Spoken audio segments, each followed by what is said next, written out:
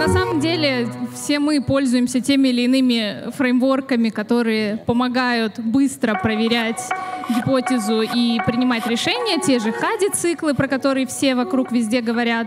Но что делать, если в компании, вот как вы пример приводили, и, в принципе, во многих процессы не готовы для того, чтобы быстро проверять гипотезы и на них принимать какие-то решения. Как быть в этой ситуации? Вопрос открытый, но сейчас мы его закроем с помощью следующего доклада. И Илья Балакшин и Полынков Алексей расскажут нам, как проверять гипотезы, когда компания достаточно неповоротлива. И покажут они это на реальных кейсах. Поэтому встречаем аплодисментами. In the life as a 23 year old product manager at Meta. I always journal in the morning. I then do a quick workout routine. I get dressed. I try to look cute every day. Got some food at the office. I make a coffee every single morning. I need that. I did some work on the roof worked until lunch and then ate up there. Here's me being cute. I got a snack always. I then shuttled home. The view's so pretty. Met up with some friends for dinner and then my boyfriend came over and was acting like a DJ for my dog. Узнали себя?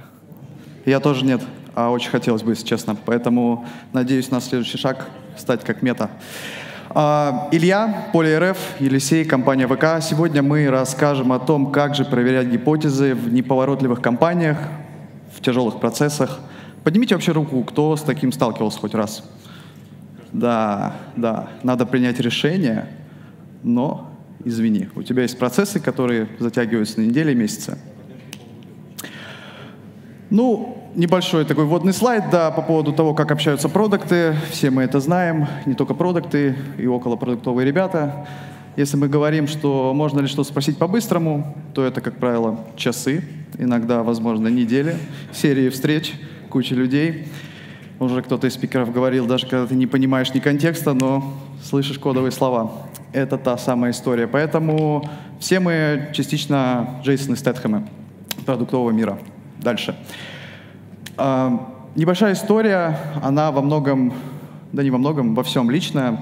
У вас есть большая компания, есть устоявшиеся процессы, когда вы должны пройти путь, который никак нельзя скипнуть. Вы формулируете гипотезу, затем вы заводите задачу в Jira на UX-исследование. Это очень долго. Вы выбираете проект. У вас есть бриф, который вы заполняете. Вы тратите в лучшем случае, ну, наверное, минут 30 на это. Возможно, даже больше. Было у кого-то больше, когда заполняли бриф на исследование? Вот, да, это оно. Вы далее ставите встречу, ставите встречу с UX-исследователем. Он еще ее должен принять. Потом вы UX-исследователю рассказываете о том, в чем же гениальность вашей идеи, что вы вообще от него хотите. И, по сути, тратите время, которое вы потратили перед этим на бриф, для того, чтобы рассказать, а в чем же все-таки идея. Далее стандартный флоу, набор респондентов — ожидания, когда наберется нужное количество участников, и потом результаты исследования. Итого этот путь может затянуться от 12 дней и больше. А, как правило, даже две недели, может еще больше. Я предлагаю альтернативу. Иногда нужно принимать решение очень быстро. Ты придумал, катить надо на следующей неделе, а может даже и послезавтра. Поэтому просто используйте те источники аудитории, которые у вас есть под рукой. В моем случае это спортзал, и, собственно, там я ищу людей, а, докапываюсь до каждого, начинаю показывать какие-то интерфейсы, особенно, да, это по большей части UX касается. Показываю, говорю, что думаешь, какие мысли, а пройди вот такой-то путь. Я там на десятом респонденте, который, бедняга, и так там приседает, ему тяжело, и он еще с этими интерфейсами. Я уже понимаю, что решение может быть вот таким, и в целом не нужно привлекать для этого UX-лабораторию, идти по этому пути. Да, это занимает меньше часа. Поэтому вывод упрощайте, ускоряйтесь и ходите в спортзал, конечно же.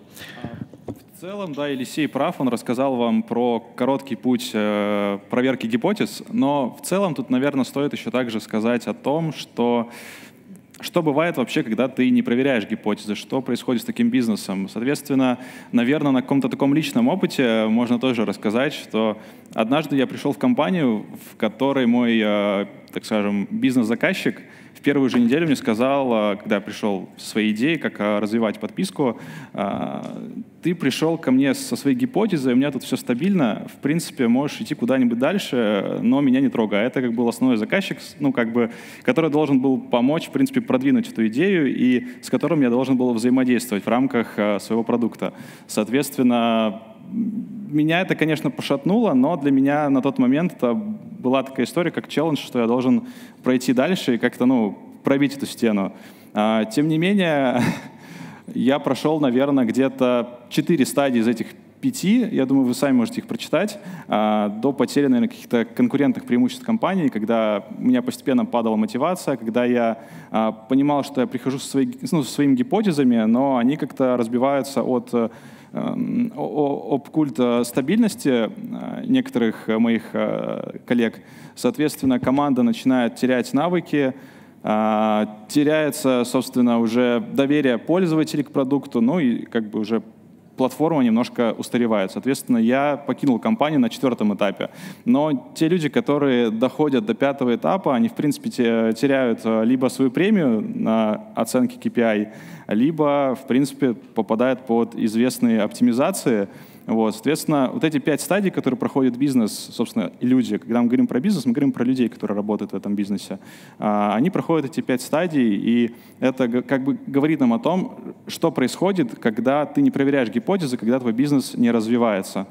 Соответственно, дальше Елисей расскажет про признаки этой неповоротливости ну, в компании. Наверняка многие из вас сталкивались с этим отсутствие понятной стратегии продукта или фрагментарность, когда разные департаменты имеют свои KPI, они могут противоречить друг другу.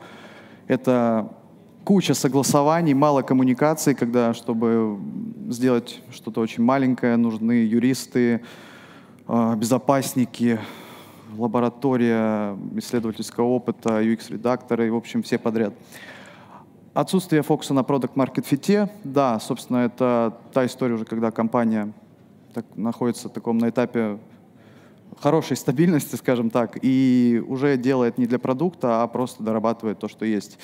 Отсутствие культуры быстрых экспериментов, да, это до сих пор большая проблема, и даже не во всех компаниях до сих пор есть АБ-тесты, про которые уже много говорят. А, поэтому мы решили, собственно, не использовать стандартный путь.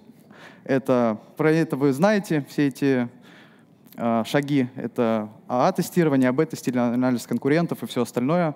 Поэтому дальше. А, наверное, мы бы тут э, хотели рассказать о кейсах э, в первую очередь и предложить вам а, вместо нас сначала предложить свои идеи. То есть такой э, интерактив от нас и актив от вас. Первый кейс о чем он? Это консервативный, э, консервативный B2B-сервис на достаточно также консервативном а, рынке. А, ваша задача а, в рамках MVP, в рамках MVP проверить достаточное количество гипотез, чтобы на этапе MMP уже их все закрыть, то есть все потребности юзера, там, критичные, не критичные, уже закрыть. Но у вас одна неделя, вы новенький пришли в команду, ну, неделя, две, окей, у вас спринт.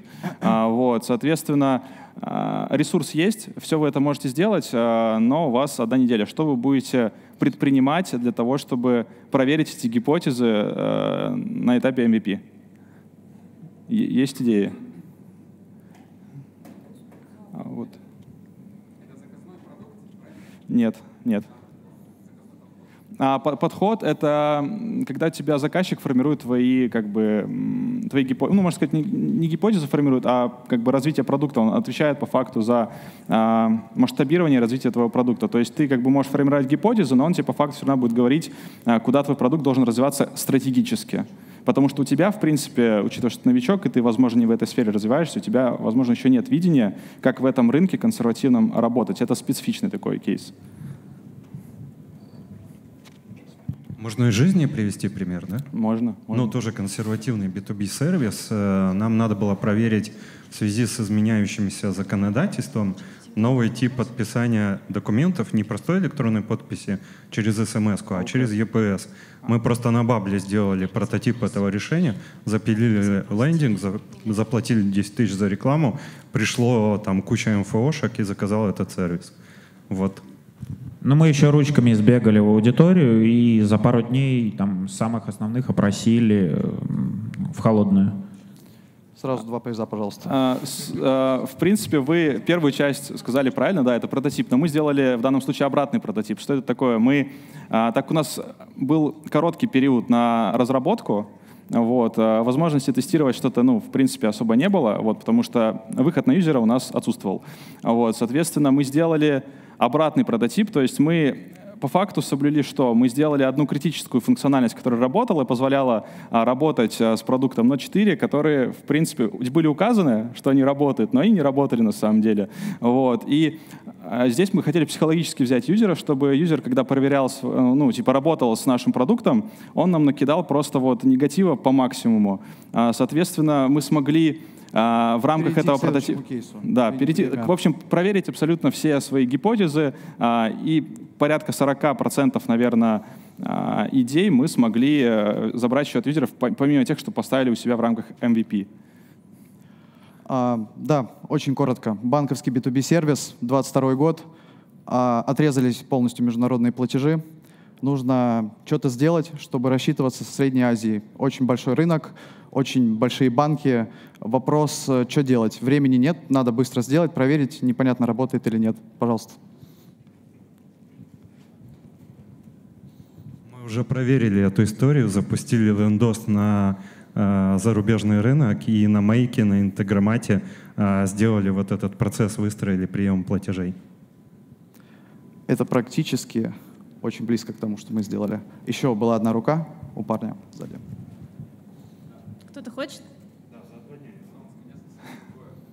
Я совсем другое, я уже понял, что это, наверное, не то. Нет, э, я подумал, что, возможно, вам нужно будет найти тех, кто умеет проводить платежи и с ними как-то с- запартнериться. Те, кто уже это делает. Приз. Реально. Спасибо.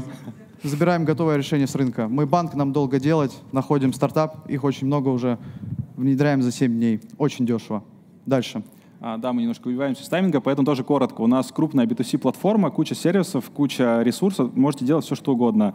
А в данном кейсе вам нужно не предложить э, перечень гипотез, которые вы будете проверять, а в принципе выйти с гипотезами, которые вы будете проверять, э, которые вам нужно предоставить вашему гендиректору, ну, в принципе, уже завтра. Но вам нужно не переизобретать велосипед, потому что тут под- э, продукт подписка, соответственно, нужно какую-то новую ценность привнести помимо э, э, той функциональ... тех функциональностей, которые есть уже на региональном рынке. Тут уже, в принципе, в кейсе ответ. Э, Немножко под- подсказка про региональность. Где, где, где вы будете искать, короче, гипотезы так, чтобы принести что-то новое для, для тестов, э, чтобы гендиректор подумал, да, классно, этот э, продукт можно будет улучшить с помощью вот, вот этих вот гипотез.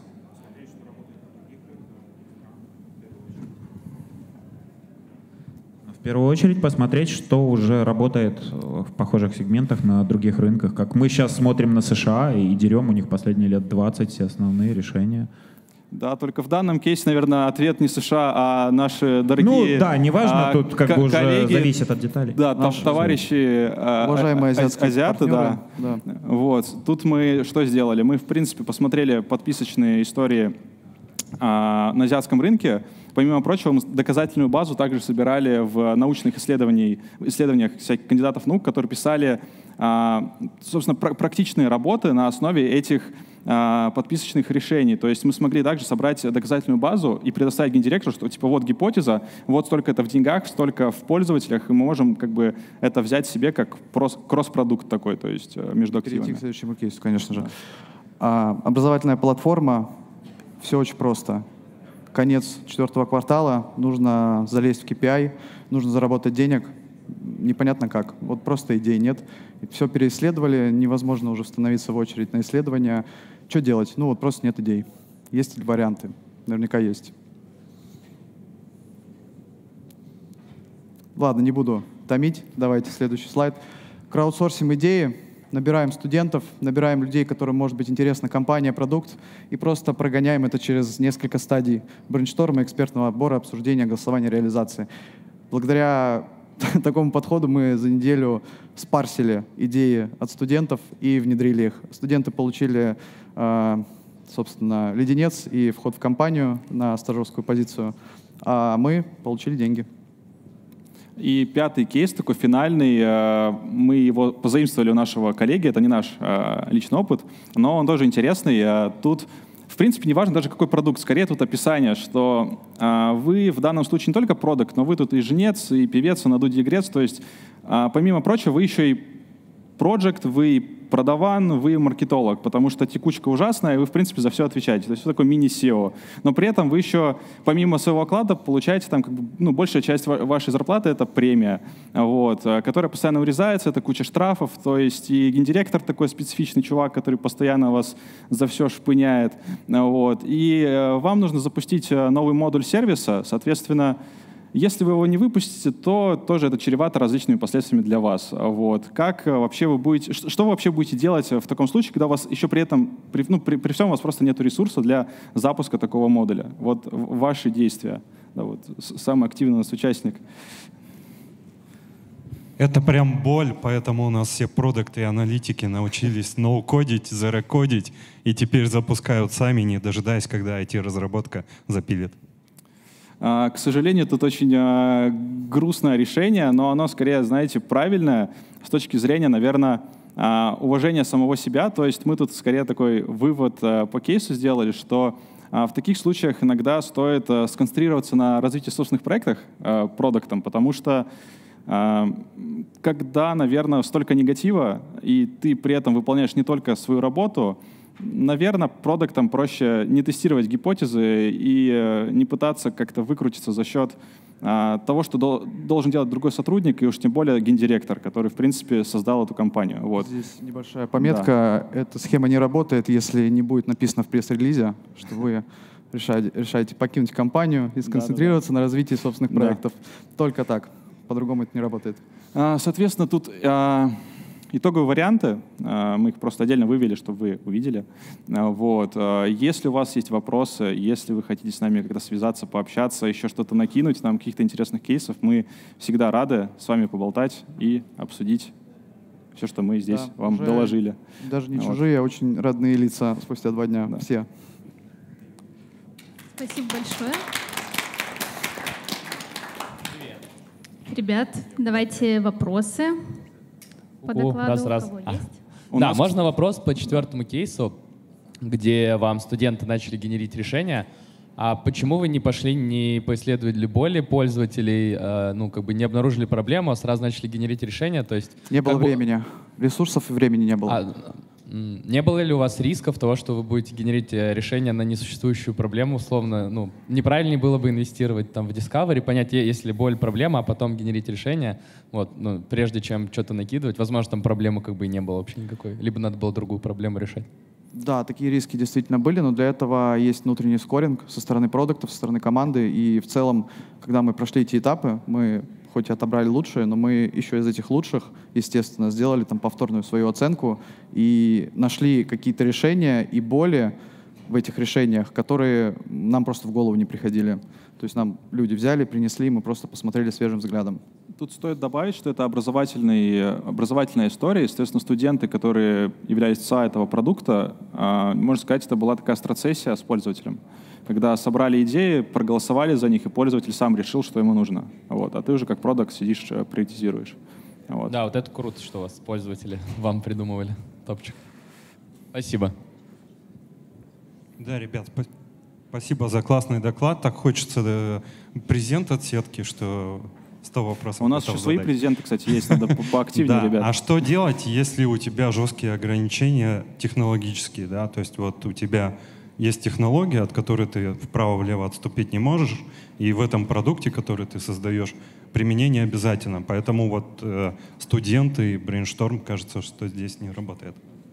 Ну, не совсем. Мы можем же связать эти решения и выбрать идею студента, пойти найти внешнее решение на рынке и его запилить, который кейс до этого был банковский. Здесь Еще добавлю один э, фактор, который сильно влияет, это NDA и секьюрность. Ну, то есть мы не можем просто взять и людям вынести, рассказать о технологии. Не можем. Но мы же умеем, мы же как-то транслируем на общую аудиторию какую-то информацию, которую мы не можем рассказать широко. Это скилл, люди этим занимаются. Поэтому тут Главное нормально подать, чтобы эта информация из private не стала какой-то паблик, поэтому никаких проблем здесь у нас не было. Мы даже, кстати, не думали об этом, просто потому что проблемы такой не было, мы умеем с этим работать. Ребят, еще вопросы?